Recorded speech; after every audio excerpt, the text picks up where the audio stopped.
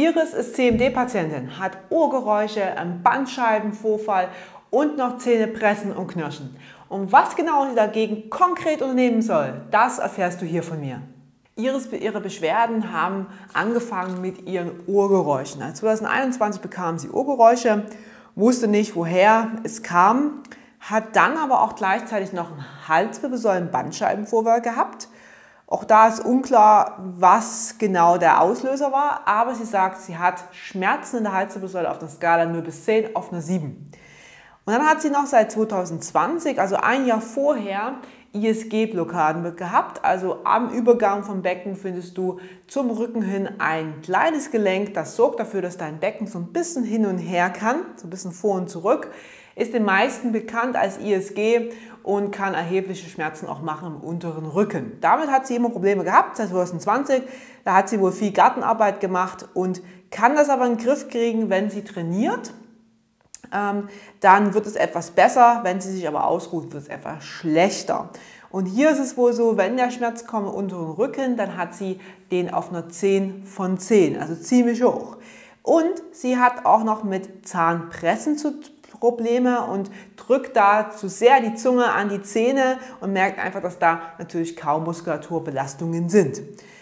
Ja, was hat sie alles probiert? Sie war wohl bei der Physio für das ISG-Problem, für den unteren Rücken. Das war auch erfolgreich, sagt sie. Also wenn sie es machen lässt, dann ist es ganz gut. Ähm, sie hat noch eine Tinnitus-App probiert, weil der Tinnitus ist so ein ganz großes Problem von ihr. Aber da hat sie wohl gar keinen Erfolg gehabt. Sie hat ein paar weitere Erkrankungen angegeben. Zum einen hat sie Schilddrüsenunterfunktion, sie schnarcht, hat Herzrhythmusstörung und einen Reizdarm. Ähm, ihr Ziel ist ganz klar, sagt sie, ich wünsche mir das Dröhnen in meinem Kopf, dass es aufhört und möglichst die Schulter-Nackenbeschwerden im Laufe des nächsten Tage, Jahres besser werden. Das wäre ein Traum. Ja, was ist so in ihrer Anamnese mir aufgefallen? Also, sie hat ein paar Verletzungen gehabt. Sie ist mit sechs Jahren angefahren worden, hat da auch eine Narbe zurückerhalten. Sie hatte einige Operationen, eine Wurzelspitzenresektion, Zahnoperationen und auch am Kniegelenk war wo rechts und links der Meniskus äh, betroffen und wurde operiert. Und sie nimmt natürlich gegen ihre Schilddrüsenunterfunktion noch Medikamente. Also, liebe Iris, was ich dir gerne mitgebe und auch du, falls genau die gleichen Beschwerden auf dich zutreffen. Nummer eins an deinen Ursachen ist, du hast hier durch deinen Sturz im sechsten Lebensjahr wohl eine Halswirbelsäuleninstabilität davongetragen. Das ist nicht so selten, wie man glaubt, aber durch so Verletzungen, Unfälle passiert das ziemlich häufig. Was ist da meine Empfehlung? Meine Empfehlung ist, dass du einfach mal im Urin dir das untersuchen lässt und zwar einen Test auf Nitrostress durchführen lässt und dann könnte man das dadurch bestätigen, dass es so ist. Das wäre ein ganz großer Schritt für dich, weil die Halswirbelsäuleninstabilitäten machen allerlei, allerlei Probleme, also angefangen von Schmerzen im Gelenk und Muskelbereich, aber auch angefangen bis zu Schilddrüsenfunktionen, die nicht mehr funktionieren, Herzprobleme, Allergien, Verdauungsprobleme und das kann alles daher kommen, auch übrigens dein Schlafproblem. Deswegen ist das eine wichtige Sache. Was würde sich dadurch verbessern, wenn du es wüsstest und auch wüsstest, was du tun könntest? Natürlich die Ohrgeräusche und auch die Schulter-Nackenverspannung und auch der Schlaf. Das ist bei dir ein ganz großes Thema. Dann meine zweite Auswertung in der Ursache sind so die Schlafstörungen. Da würde ich dir empfehlen, wenn du schnarchst, dass man mal schaut, ob du wirklich einen guten Schlaf hast oder nicht. Aber wenn dein Schlaf schlecht ist, dann hast du hier natürlich mehr Zähne pressen, du hast mehr Schulter-Nackenprobleme, deine Halswirbelsäule erholt sich nicht, die sowieso schon diesen Bandscheibenvorfall als Problem hat.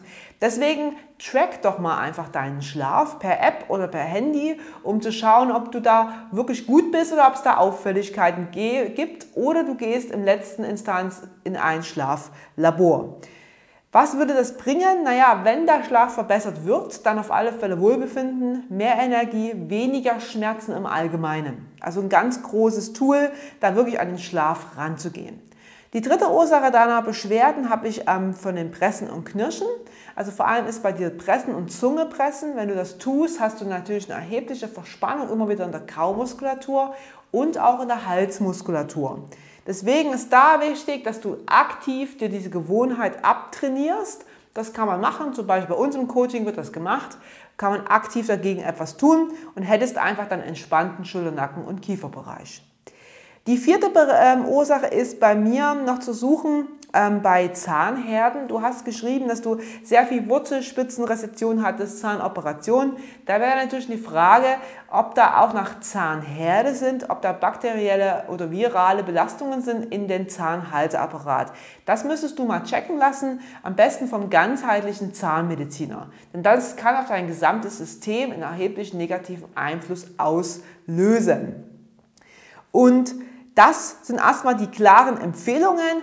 Was natürlich immer nie schadet, ist, wenn du sagst, du schaust mal, dass du deine Haltung trainierst, dass du da einfach stabiler wirst im gesamten Rücken und auch deine Lendenwirbelsäule mal stabilisierst. Das sagst du ja auch, wenn du zur Physiotherapie gehst und trainierst, hast du dadurch einen positiven Effekt.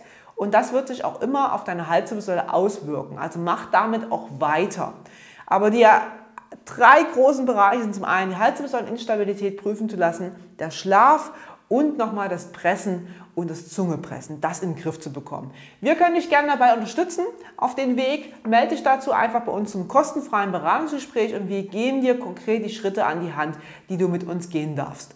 Und wenn du jetzt sagst, hey, also so eine Analyse hat noch niemand bei mir gemacht, die hat mich nicht mehr gesehen, aber das war echt schon gut. Das hat, gibt mir einen Einblick. Dann schick uns auch deinen Fall ein und wir werden dich benachrichtigen, wenn wir dich ziehen und wir werden es hier vorstellen. Du kriegst da von uns natürlich auch eine separate E-Mail mit der gesamten Analyse. Hier findest du zum Anamnesebogen einen Link. Lade ihn dir runter, füll ihn aus und schick ihn ein zu uns.